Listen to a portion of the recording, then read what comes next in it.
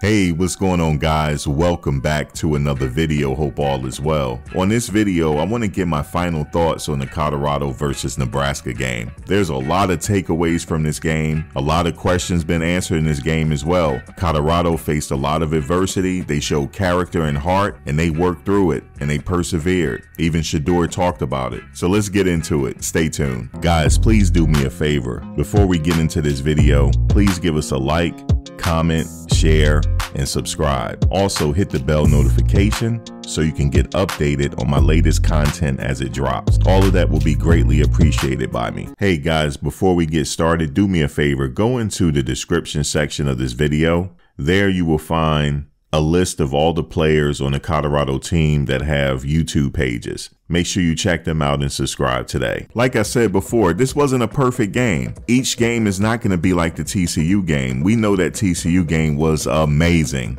Shedeur threw for 510 yards. 510 yards. In this game, he had a very respectable game as well. He fought back, he persevered, he got sacked a, num- uh, a number of times, but he did not let that get to him. See, this is another thing about him. He doesn't get rattled under pressure. It's very hard to shake him. I don't think I've ever seen him shaken in a game. I think Shedeur believes that it doesn't matter the game, I always have an opportunity to come back. He is the leader of this team, he is the quarterback, so everything falls on him.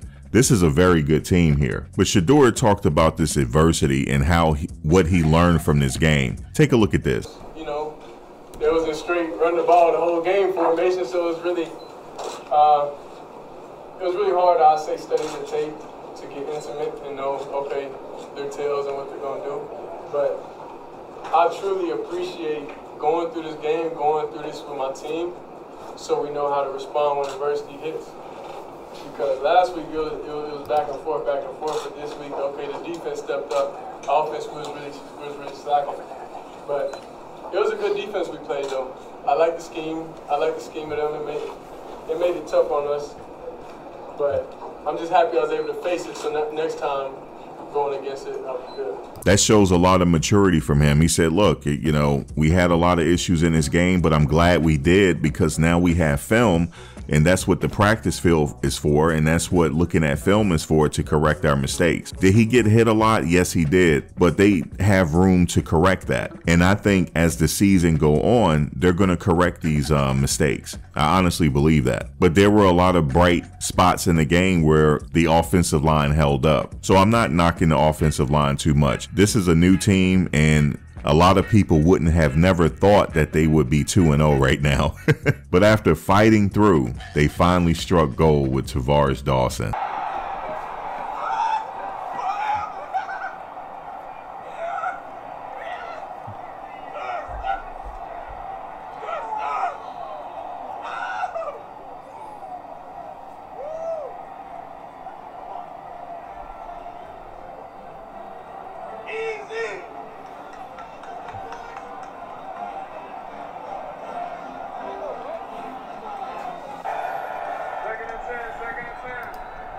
That was a, a, pretty good play by Tar'Varish Dawson. Now, Tar'Varish Dawson, he's a transfer from Auburn. Pretty, he's a speeder, speedster wide receiver. Like I said, he's very fast. And this team has a lot of weapons. I mean, Xavier Weaver, Tar'Varish Dawson, Jimmy Horn Jr. I mean, the list goes on and on. Javon Antonio, he didn't even play in this game, but that was a very good play by Tar'Varish Dawson. I remember in a live chat we were talking about sacks. They need to get to the quarterback. Oh yeah, they did.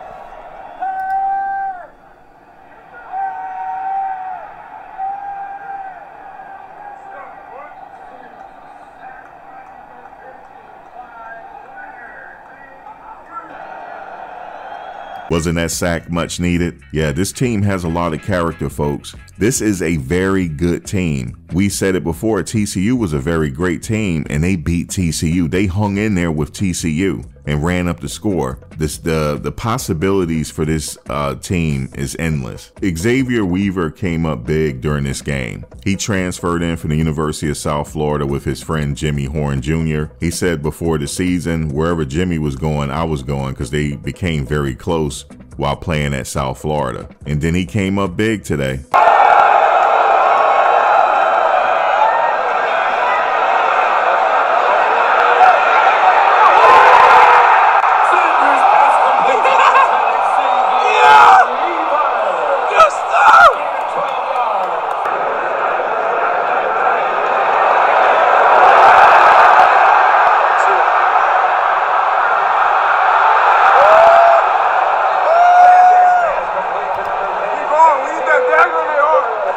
He's a very solid wide receiver. I believe he said this was his last year and he wanted to ball out and he has aspirations on going to the NFL. I think he's going to get his shot. What say you? Also, drop a comment below. Let me know your takeaways from the game. What was the highlight of the game for you? There was a lot of highlights during this game. I'm only showing a few, but what were your highlights? I'm curious to know. Drop a comment below. Now, I knew the stars were aligned. I mean, we were watching Xavier Weavers play. I mean, he's having a very he was having a very strong game. You know, um, Shedeur has a lot of weapons, and you never know who's going to strike gold.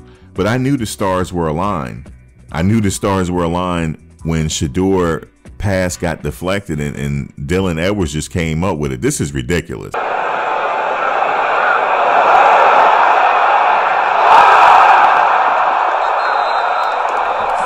Know, I have to play it one more again in slow motion.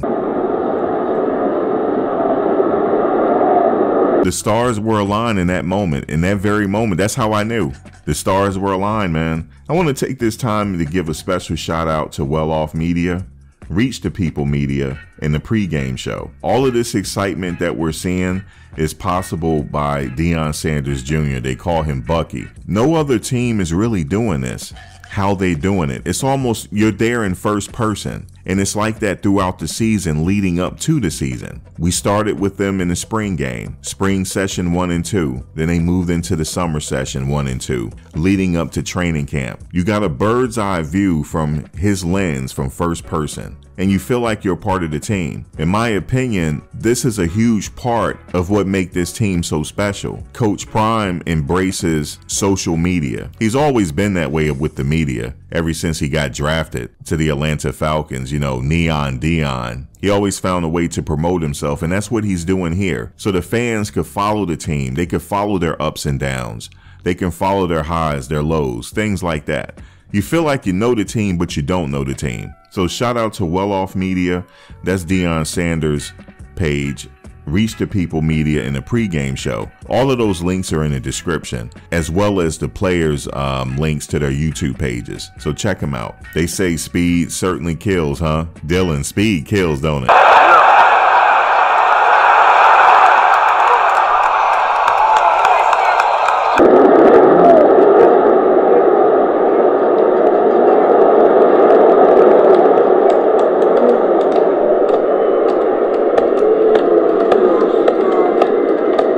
This running back room is very deep, as deep as the abyss. Any given time, you could have Anthony Hankerson out there. You can have Dylan Edwards, the transfer from Jackson State, Sy'veon Wilkerson. But Dylan Edwards' speed, man, and they haven't even showcased Alton McCaskill yet. They're going to save him for the big game. I remember in my last live chat, someone made that comment. They're going to save him for the big game, and um, it's coming. They're going to save him, and I can't wait for him to get out there, but that adds depth. It keeps the defense guessing like what's gonna happen. But I can't wait to Alton McCaskill get out there. But speed kills, Dylan. Hey Travis, real quick, uh, Travis Hunter, did you pull a Allen Iverson on your opponent?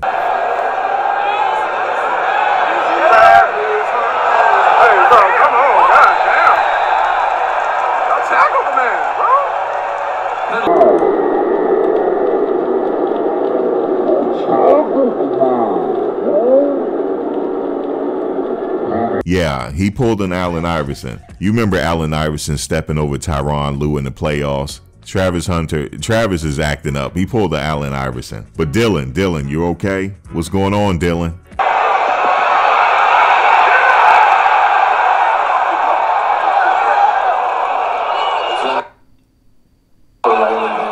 Dylan Edwards means a lot to this team. Not only is he fast, Dylan Edwards had the opportunity to come to camp early. Remember, he was at spring session one and two. Then he went on to the summer leading up to training camp. He benefited from getting with the team early. There's a few other freshmen, they came late, but Dylan Edwards, every time I saw him in practice, he worked hard, he's breaking major yardage. So I'm not surprised that he's having um, a really good showing this season. I'm not surprised with Dylan Edwards, but he means a lot to this team. He's going to be a focal point and he's going to be very important leading up to the mid-season to late season. Um, Dylan Edwards, uh, we need him to stay healthy and, and, we need him out there grinding. He's a grinder. Shedeur Sanders, I, I don't know what else to say about him. Shedeur is very poised. He's calm. You know, It doesn't seem like he gets rattled under pressure. Then he capped it off with a touchdown of his own. And I had said it right before the game. I said he's known to run and he will get in that end zone and do the neon Deion. Oh, yeah.